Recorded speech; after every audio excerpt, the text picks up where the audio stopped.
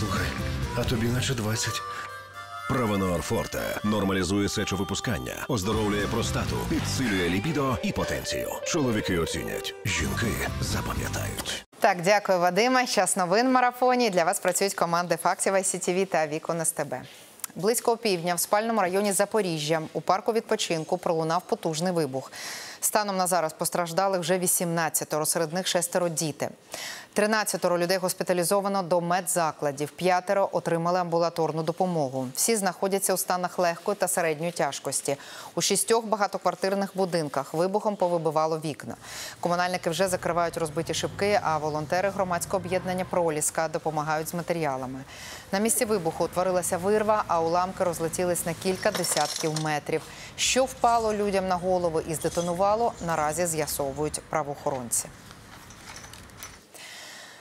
Російські війська поцілили по оселі літнього подружжя в Херсоні. Як повідомили в обласній прокуратурі, 81-річний чоловік загинув. Його 82-річна жінка зазнала поранення. Їй надали медичну допомогу на місці. Внаслідок обстрілу почалася пожежа. Вогонь загасили рятувальники.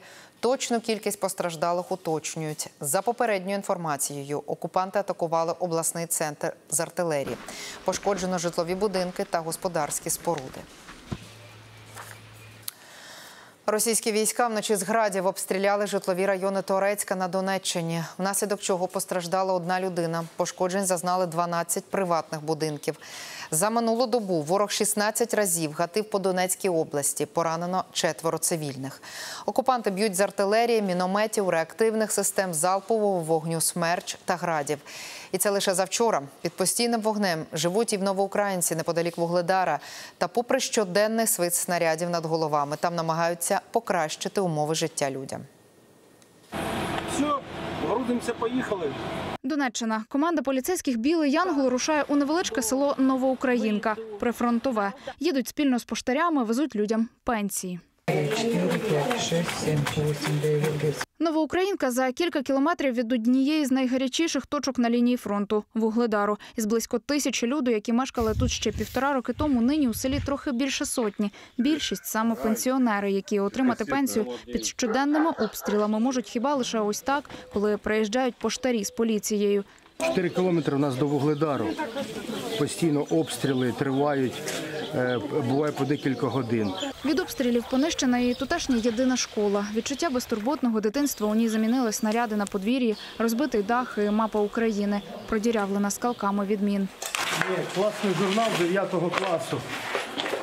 Діти навчалися, все було добре, село жило. Та найгірше кажуть люди, що від постійних обстрілів перебуває електропостачання, яке невпинно щоразу намагаються відновити місцеві. Електропостачання е, постійно е, приривається. Створені е, бригади військової адміністрації, які реагують на всі ці випадки по електриці, виїжджають терміново, шукають де пориви і поновлюють електричество, щоб у людей тут були умови життя. Та й по хатах часто прилітає, діляться селяни до вибухів, вже звикли, та все ж кажуть, лякає те, що ніколи не знаєш, куди прилетить наступний снаряд. Ой, важкі часи переживали. З погріба не вилазили. У погрібі сиділи. Цілий день стріляють. Не знаєш, як кажуть, знаєш, знав би, де упав, соломку підстелив би. Я просто я вже не пойму, де стріляють. Та люди намагаються триматися і, користуючись можливістю, ледь стримуючи сльози, передають вітання рідним, аби ті знали, що з ними все добре. Міша, Світочка, дивіться на мене. Я коло пенсії. Пенсію буду получати. Поліція ж натомість кожен раз закликає людей евакуюватися, адже на Донеччині нині не існує безпечних місць. Аліна Матвійчук, програма Вікна СТБ. Єдині новини. У Вільнюсі розпочалася зустріч Володимира Зеленського з Джо Байденом. Головні теми другого завершального дня саміту Північно-Атлантичного альянсу у Вільнюсі зброя для поля бою, спільна робота для наближення України до НАТО та гарантії безпеки для нашої держави. У президента України відбулося багато двосторонніх зустрічей. Крім того, він взяв участь у першому засіданні Ради Україна НАТО. В альянсі це назвали історичним моментом, коли союзники разом з Україною на рівних обговорюють спільну євроатлантичну безпеку. А лідери групи семи водночас підготували спільну безпекову декларацію. Один з головних її пунктів необхідність створення механізму відшкодування Україні збитків. Подробиці дивіться далі в сюжеті. На полях НАТО група семи під вечір оголосила історичне рішення для гарантування довгострокової безпеки України. Мета побудова держави здатної захистити територіальну цілісність зараз і в майбутньому. Мова зокрема про допомогу сучасним військовим обладнанням, більш ґрунтовний та швидкий обмін розвідданими, розширення навчальних програм для українських військових та розвиток промислової бази України. У разі майбутнього збройного нападу з боку Росії члени G7 мають намір негайно провести консультації з Україною, щоб визначити подальші кроки. Ця декларація буде відкрита для будь-якої країни, яка поділяє наше прагнення підтримувати Україну. І я сподіваюся, що багато країн вирішить приєднатися. Країни Групи Семи продовжують підтримувати Україну. Наша солідарність непохитна. Сьогодні є гарантії безпеки України на шляху до НАТО. Важливий пакет гарантій безпеки. Сьогодні ми узгоджуємо з країнами групи семи рамки безпекових гарантій, які будуть розширені за рахунок домовленостей з нашими ключовими партнерами. Двосторонніх і багатосторонніх угод. Українська делегація привозить додому значну перемогу у сфері безпеки для України, для нашої країни, для нашого народу, для наших дітей. Це відкриває для нас абсолютно нові безпекові можливості. І я дякую всім, хто зробив це можливим. Сьогодні ми зустрічаємося як рівні, а завтра ми зустрінемося як союзники. Про це Єнс Столтенберг заявив після двосторонньої зустрічі з українським президентом. Рішення, ухвалені на вільнюському саміті, генсек НАТО назвав початком нового етапу у відносинах між Україною і альянсом. Зараз Україна ближче до НАТО ніж будь-коли. Союзники підтвердили, що Україна стане членом альянсу та погодилися скасувати вимогу щодо плану дій щодо членства. Це змінить український шлях до членства з двоетапного процесу на одноетапний. І ми направимо Україні запрошення приєднатися до НАТО, коли союзники погодяться і будуть виконані умови. Це єдине сильне послання членів альянсу на вашому шляху до НАТО. В українській делегації зазначили, що хоч запрошення до Північно-Атлантичного альянсу на словах нема, але всі заяви, зроблені під час саміту, вказують на те, що НАТО має такі наміри. Спрощення процедури вступу назвав важливим результатом саміту і президент Володимир Зеленський. Ми обговорили наші очікування від саміту НАТО, і тут важливий результат це визнання, що Україна не потребує плану дій щодо членства на шляху. І я знаю, скільки було різних розмов і домовленостей через це. Ми пройшли великий шлях у взаємосумісності з НАТО, і наші воїни мають максимально свіжий досвід співпраці з різними членами альянсу. Можемо констатувати, що результати саміту гарні, але якщо б було запрошення, вони були б ідеальні. Генеральний секретар НАТО переконаний, коли російський президент Володимир Путін вторгся в Україну, він не очікував ні мужнього відпору від українців, ні єдності альянсу. Її знову підтвердили всі члени НАТО на полях саміту. А зустрічей було чимало з прем'єром Великої Британії Ріші Сонаком, прем'єром Канади Джастіном Трюдо та канцлером Німеччини Олафом Шольцом. Це дуже важливий час для нас ще раз переконатися, що ми надаємо найкращу підтримку, яку можемо. Це шлях вперед, і ми продовжуватимемо нашу роботу і надаватимемо усю підтримку, якої потребує Україна у цей неймовірно важливий момент, щоб показати, що всі разом ми за Україну і проти Росії, проти тієї дестабілізації, яку вона чинить у вашій країні. Ми завжди будемо з вашою державою. Наслідком цих перемовин вже стали додаткові системи ППО «Петріот» від Німеччини, нова бронетехніка від Канади, а ще 30 австралійських бронетранспортерів «Бушмастер» та тисяча крихітних розвідувальних дронів від Норвегії. Після двосторонніх зустрічей розпочалося перше інавгураційне засідання Рада Україна НАТО. Це новий формат на рівні очільників держав та урядів. Він прийшов на зміну одноіменній комісії, що раніше збиралася на рівні міністрів оборони країн-учасниць альянсу. За великим круглим столом Зеленський сидить між Туреччиною та Великою Британією. Учасників розсаджували в алфавітному порядку. Як заявляв Столтенберг, формат ради підвищить рівень партнерства та відносин України із Північно-Атлантичним альянсом. Ярослава Марущенко, програма Вікна СТБ Марафон. Єдині новини. Нардепці Людмилі Марченко, які закидають зловживання впливом, призупинили членство партії Слуга народу. Рішення про її виключення буде прийнято на найближчому засіданні фракції. Про це заявив голова фракції Давид Арахамі. Парламентарку поки що не затримали. Вирішується питання про обрання їй запобіжного заходу. Як повідомляють у САП, народна обраниця разом зі своєю помічницею за 5 тисяч 300 доларів допомогли чоловікові приземного віку отримати дозвіл на виїзд за межі України.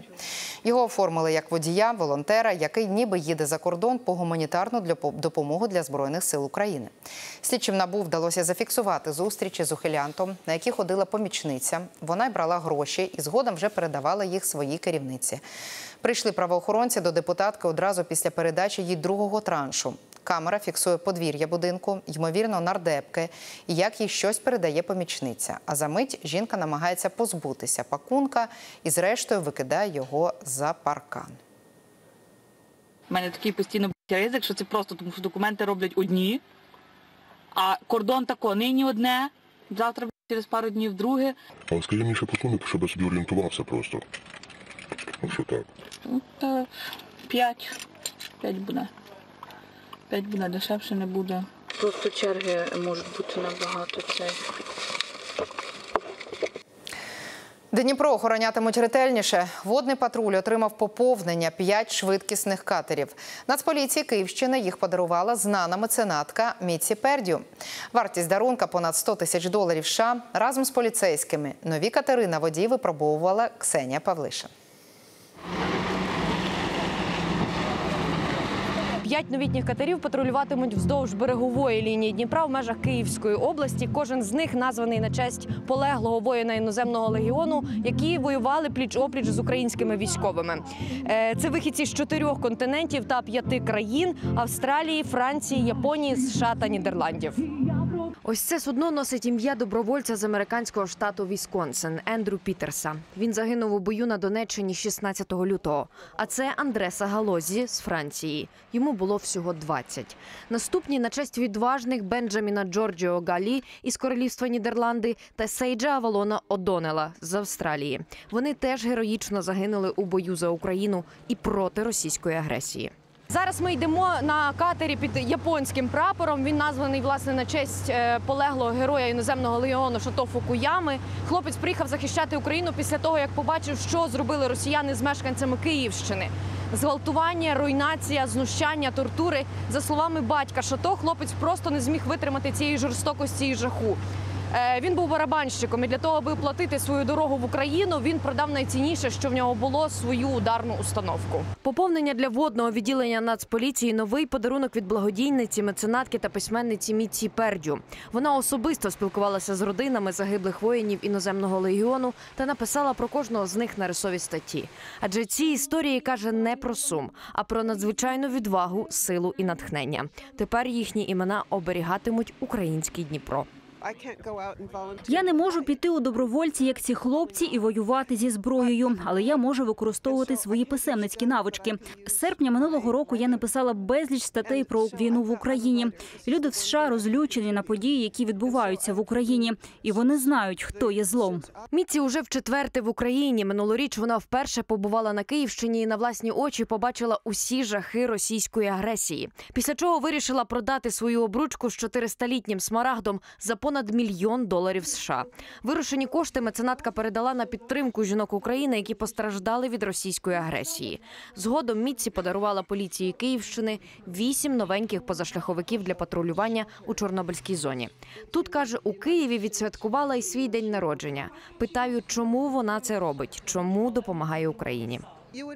Ви будете здивовані, але в США чимало людей збираються щовихідних, щоб зібрати кошти на допомогу Україні. Мені 82 роки.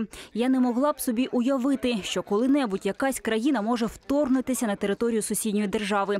Я хочу допомогти українцям відновити справедливість. Це наша спільна боротьба за демократичні цінності.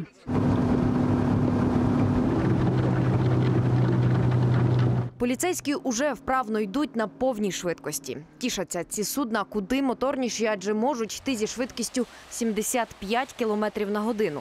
Попередні катери могли набирати не більше 60 і з більшими витратами палива. Маневрений, компактний, і чудово тримає хвилю. До того були в нас менші катера, е, бастер назва. Він не такий компактний, не чудовий на швидкість і на маневреність, як цей. Ксенія Павлишин, Максим Костенко. Програма Вікна СТБ. Марафон. Єдині новини. Це всі новини на цю годину. Далі розмовна студія з Вадимом Карп'яком. Вадиме, підхоплюй ефір.